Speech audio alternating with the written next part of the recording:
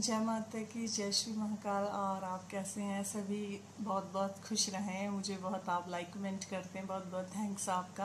देखिए, आप सभी का ये क्वेश्चन रहता है ना कि हम बाहर ठीक रहते हैं और जब हम घर आते हैं तो बड़ा तनाव होता है, बड़ा गुस्सा आता है और एकदम से हम हाइपर हो जाते हैं। ऐसा कुछ होता है ना? देखिए, इसके कई कारण होते हैं। बहुत से कारण होते हैं। एक तो घर पर आपके नेगेटिविटी का वास अधिक होता है। जैसे बाहर से आप आते हो तो घर पर जैसे वो हावी होती है, उसके कारण हो जाता है। या फिर घर में पित्तर दोष आपके होता है तो फिर वो खुश नहीं रहते, रहने देते पितर भी उस घर को जहाँ पित्तर दोष होता है। ये होता है इस चीज़ को मानिए, ठीक है ना? और बाकी नेगेटिविटी के कारण भी होता है, जैसे कि किसी ने आपके लिए ऐसा कुछ किया ही हो कि आपके घर में सुख शांति ना रहे और उन्नति ना हुए तो ये बहुत से कारण होते हैं कि आप बाहर ठीक रहेंगे। जब आप घर आएँगे तो आपका सिर भारी लड़ाई के लिए दिल करेगा और गुस्सा ज़्यादा आएगा और अगर आप बाहर रहते हैं तो ठीक रहते हैं, ठीक है ना?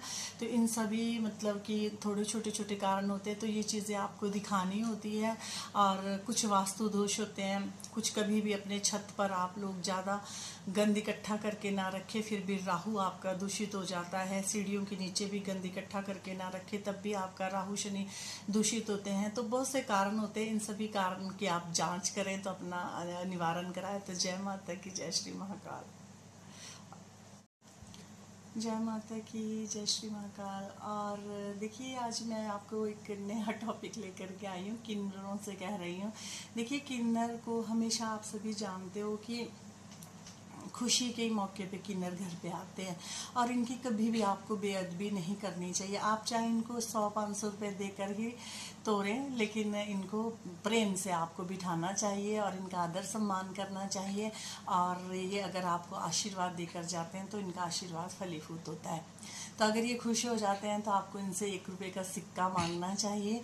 और सिक्का इनसे लेकर के आपको हरे, लाल और पीले कपड़ा, तीनों कपड़े लेकर के उसके बीच में उसको सिल देना चाहिए सुई के साथ।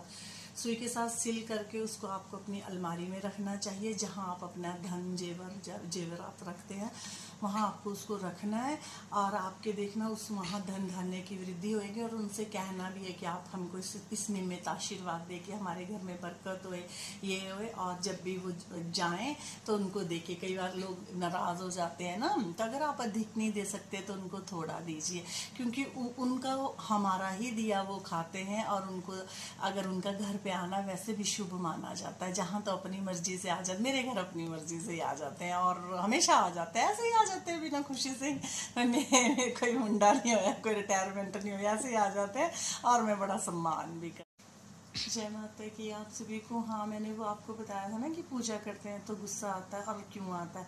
तो मैंने रीज़न बताया था। आज मैं आपको बता रही हूँ कि आपको फिर क्या करना चाहिए कि ऐसा ना हो, कैसे पूजा करनी चाहिए। जो रूटीन में मुझे फॉलो कर रहे होते हैं ना, उनको फिर वीडियो भी समझ आ जाती है ना।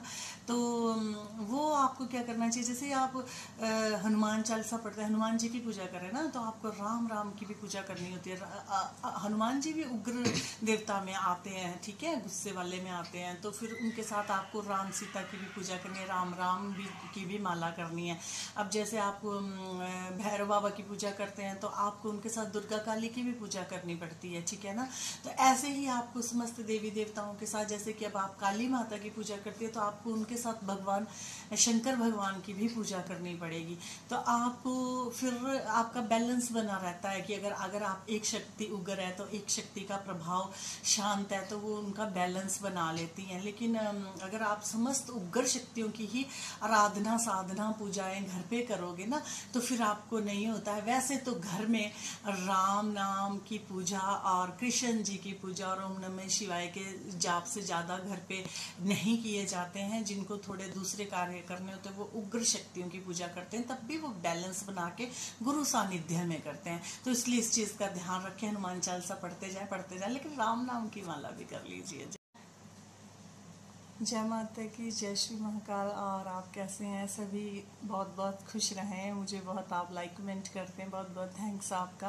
देखिए, आप सभी का ये क्वेश्चन रहता है ना कि हम बाहर ठीक रहते हैं और जब हम घर आते हैं तो बड़ा तनाव होता है, बड़ा गुस्सा आता है और एकदम से हम हाइपर हो जाते हैं। ऐसा कुछ होता है ना? देखिए, इसके कई कारण होते हैं। बहुत से कारण होते हैं। एक तो घर पर आपके नेगेटिविटी का वास अधिक होता है। जैसे बाहर से आप आते हो तो घर पर जैसे वो हावी होती है, उसके कारण हो जाता है। या फिर घर में पित्तर दोष आपके होता है तो फिर वो खुश नहीं रहते, रहने देते पितर भी उस घर को जहाँ पित्तर दोष होता है। ये होता है इस चीज़ को मानिए, ठीक है ना?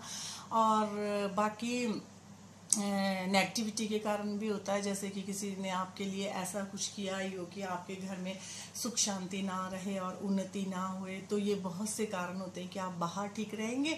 जब आप घर आएँगे तो आपका सिर भारी लड़ाई के लिए दिल करेगा और गुस्सा ज़्यादा आएगा और अगर आप बाहर रहते हैं तो ठीक रहते हैं, ठीक है ना?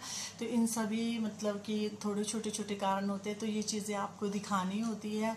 और कुछ वास्तु दोष होते हैं, कुछ कभी भी अपने छत पर आप लोग ज़्यादा गंद इकट्ठा करके ना रखे, फिर भी राहु आपका दूषित हो जाता है। सीढ़ियों के नीचे भी गंद इकट्ठा करके ना रखे, तब भी आपका राहु शनि दूषित होते हैं। तो बहुत से कारण होते हैं। इन सभी कारण की आप जाँच करें तो अपना निवारण कराएँ। तो जय माता की, जय श्री महाकाल।